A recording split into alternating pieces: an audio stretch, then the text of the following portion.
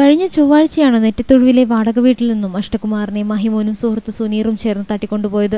പെനാർഗൻ എന്ന മരുന്ന് കുത്തിവെച്ചാണ് അഷ്ടകുമാറിനെ മയക്കിയത്. കണ്ണൻ താമസിക്കുന്ന വീട്ടിൽ വീട്ടുടമസ്ഥൻ സൂക്ഷിച്ചിരുന്ന നൂറ്റി ഇരുപത് കിലോയോളം ഏലക്കയെ മോഷ്ടിച്ചാണ് പ്രതികൾ അഷ്ടകുമാറുമായി കടന്നത്. തുടർന്ന് ആലപ്പുഴയിലേക്കുള്ള യാത്രാ മധ്യേയാണ് അറസ്റ്റിലായ അനീഷ് പ്രതിയായ അമ്പിളി മൂവർക്കൊപ്പം ചേർന്നത്. തുടർന്ന് തട്ടിക്കൊണ്ടുപോയ ആളെ മർദ്ദിച്ച് അവശനാക്കിയ ശേഷം രാത്രിയോടെ തിരുവാർപ്പിനടുത്തൊഴിഞ്ഞ് കിടക്കുന്ന പാറമടയിൽ ഉപേക്ഷിക്കുകയായിരുന്നു. അഷ്ടകുമാറിന്റെ പരാതിയിൽ വണ്ടൻമേട് പോലീസ് നടത്തിയ അന്വേഷണത്തിൽ തിങ്കളാഴ്ച പ്രതികളെ പിടികൂടുകയായിരുന്നു.